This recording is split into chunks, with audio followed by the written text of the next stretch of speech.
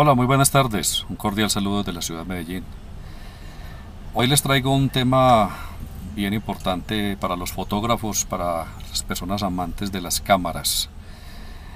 Eh, estos días, no, les cuento que nunca había tenido la oportunidad de, tener un 135 milímetros en mi cámara.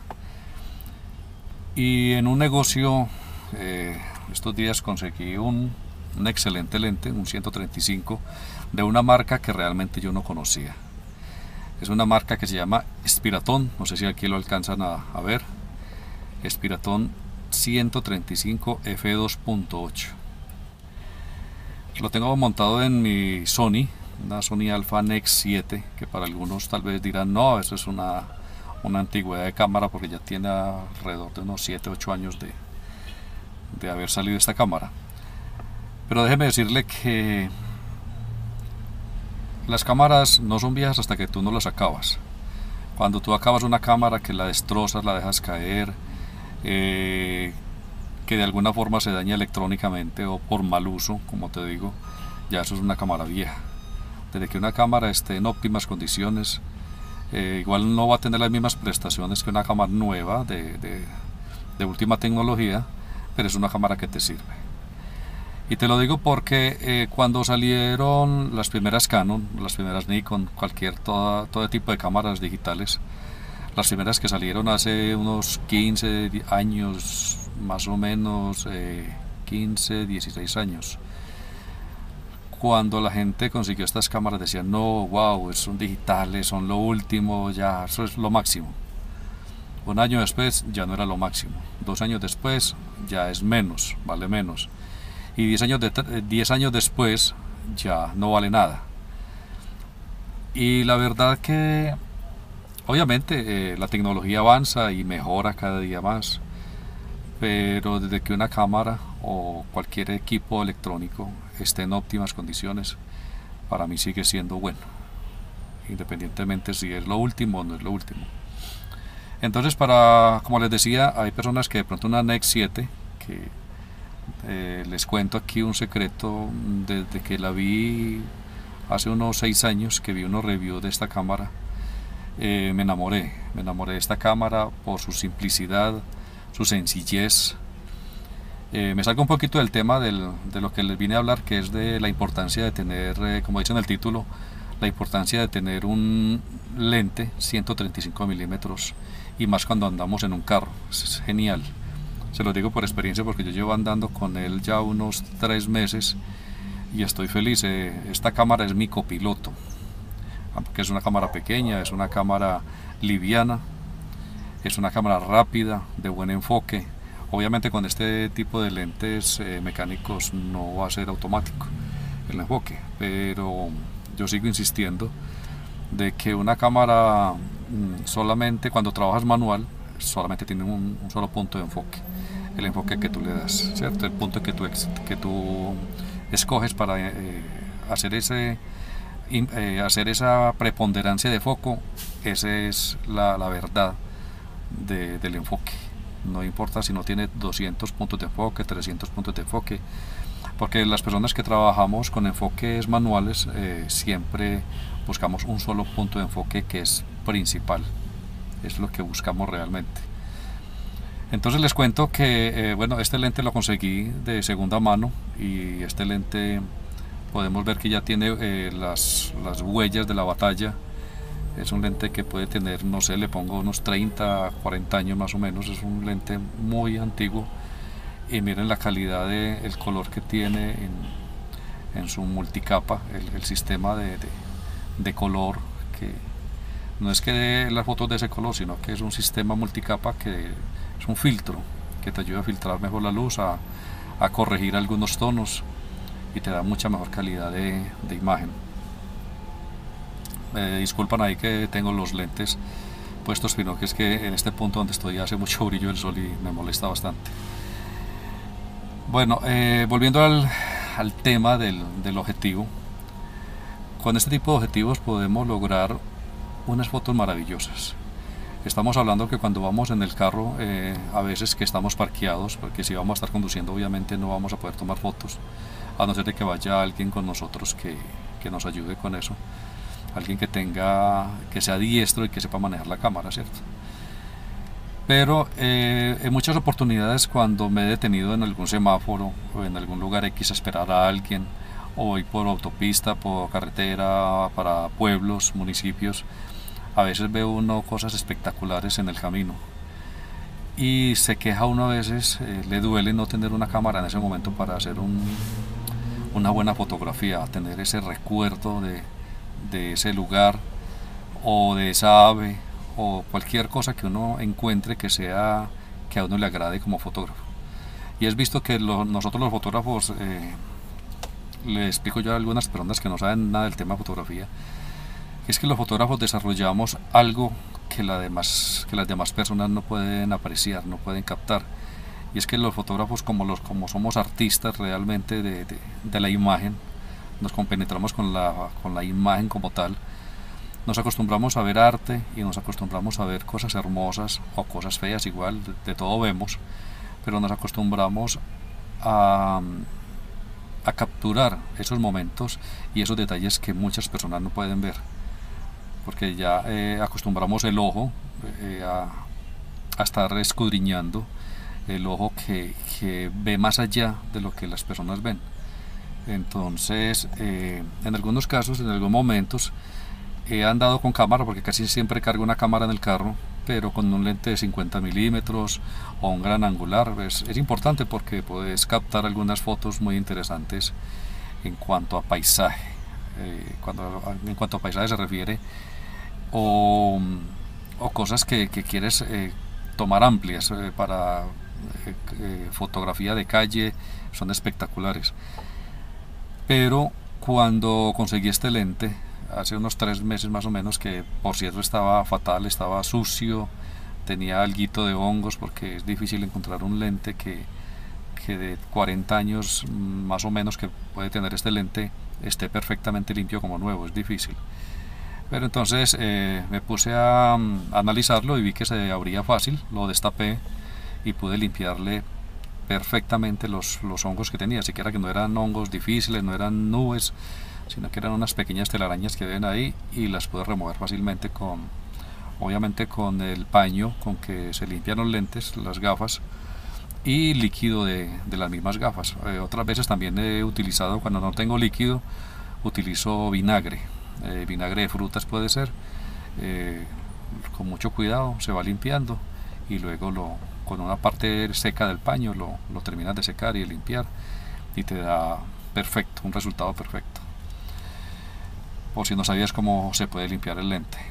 Eh, obviamente las personas que no saben cogen la camiseta, la camisa y, empiezan a, limpiar el lente y eso no es bueno, no es saludable para el lente porque no sabemos de qué material está hecho está hecha tu camisa, tu camiseta, tu polo, como le dicen en algunas partes. Entonces, lo más conveniente para esto es generalmente utilizar algodón, fibra de algodón, que sea 100% algodón, o los paños de los lentes, que son bastante importantes cargar un, pañito. Acá les muestro estos los que vienen con las gafas. Cuando uno compra unas gafas normalmente te regalan este paño. Entonces este tipo de paños es genial porque eh, con mucho cuidado en círculos le puedes eh, hacer la limpieza al lente sin necesidad de estar pegado de cualquier eh, un dulce abrigo o cualquier cosa que tengas en, en, el, en el automóvil o en la maleta cualquier cosa entonces, bueno, qué pena, me salgo, siempre me salgo del tema. Eso es, normal en mis videos, que a veces empiezo muy emocionado hablando de algo y termino metido en, otro cuento y después vuelvo y retomo, pero bueno, es la pasión de la fotografía la que nos lleva a esto a veces. Espero lo entiendan y yo sé que a algunos les, les pasa normalmente.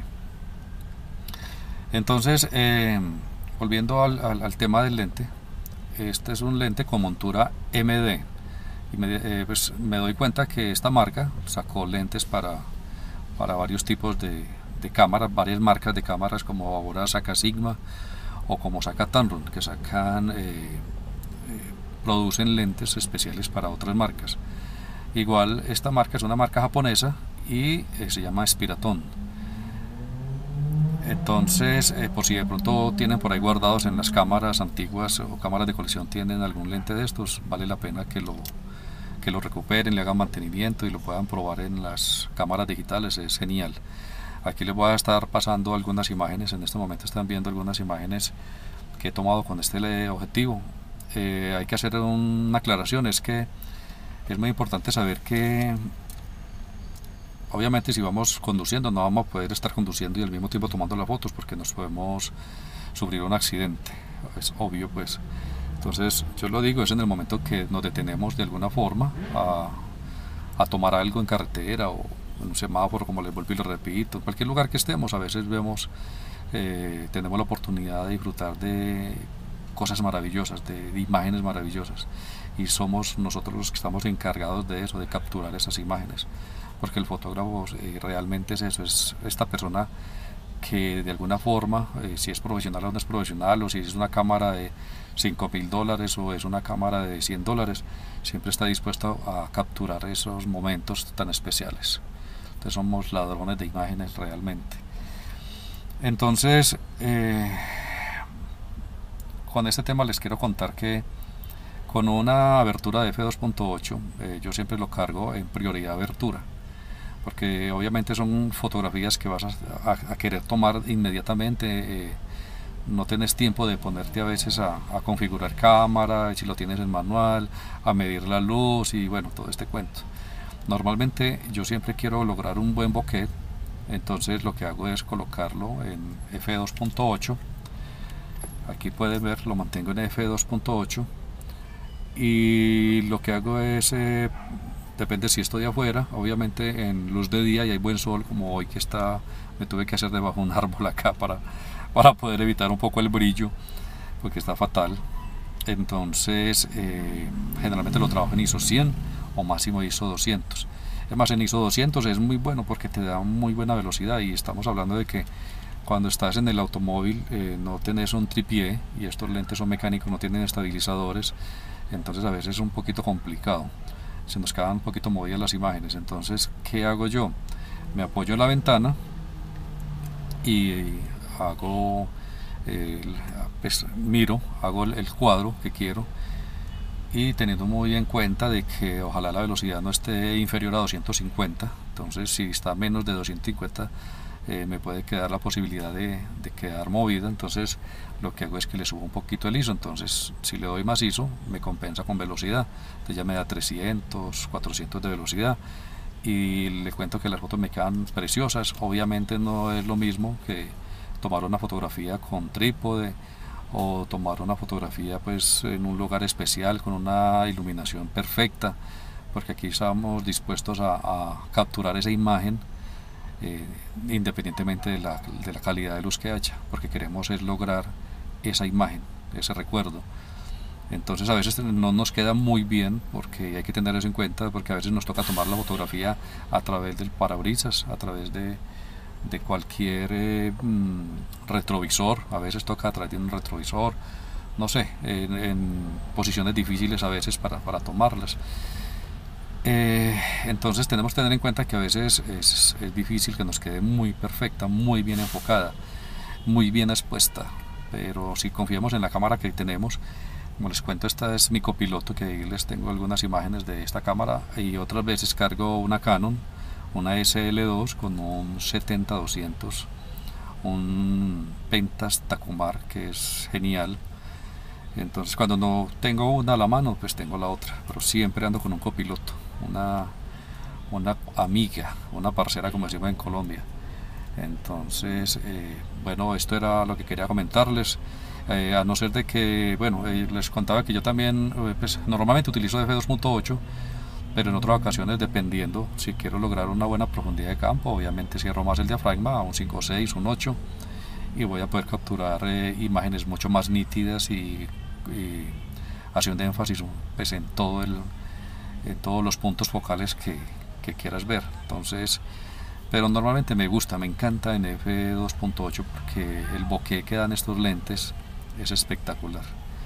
Eh, yo sé que hay unos que tienen mejor bokeh, que tiene 2.5, que tienen f2 o hasta menos, eh, y son super eh, lentes pues que son demasiado costosos. Pero la verdad que yo con f2.8 hago maravillas hago maravillas. De todas formas aquí les estoy compartiendo algunas imágenes. Espero que se motiven los que tienen vehículo a siempre, siempre cargar una cámara en el automóvil, una, siempre tener una, ojalá varios lentes. Yo cargo igual el 50, cargo el 16 milímetros original de la cámara, que es 2.8, el 50 es un FD de Canon 1.4, es espectacular para hacer tomas en la tarde, eh, paisajes que atardeceres con esos colores maravillosos. Entonces, bueno, no es más, no quiero cansarlos con el tema. Eh, espero que le den un buen like a, este trabajo que hago. Y si, si, no se han suscrito, espero que lo hagan. Entonces, estamos hablando de fotografía para las personas. Yo normalmente no vengo a hablar de las bondades de las cámaras y, bueno, y cuántos megapíxeles y toda esta cuenta, porque para eso hay muchas personas que lo hacen maravillosamente yo vengo a traerles otros temas que son importantes en la fotografía también. Listo. Un abrazo para todos. Eh, que se cuiden mucho en este tema de, de, pandemia, que esto está muy delicado. Por favor, cuídense, lávense muy bien las manos y vamos para adelante. Un abrazo.